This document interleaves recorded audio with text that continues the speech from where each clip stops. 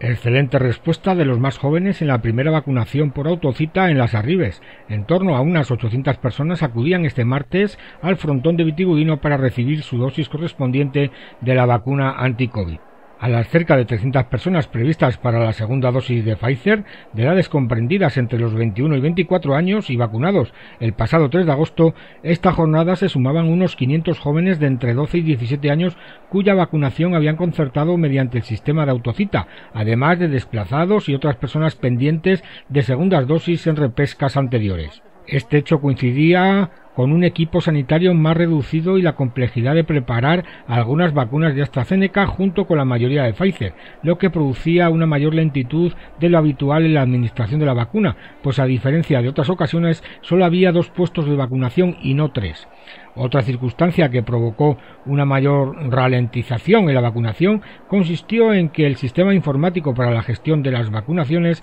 no reconocía desplazados y vacunados en segundas dosis de repesca.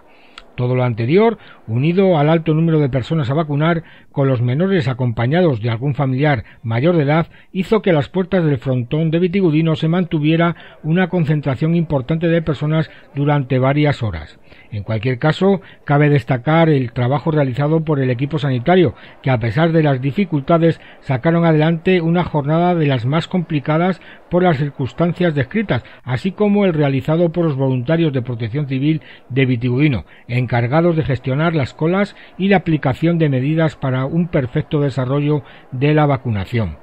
Para el próximo martes 31 de agosto está prevista la vacunación en segunda dosis de personas nacidas en la franja comprendida entre 2001 y 2003 y que fueron vacunadas en Vitigudino el pasado 10 de agosto. A estas cerca de 150 personas se sumarán los jóvenes que hayan concertado su vacunación mediante autocita.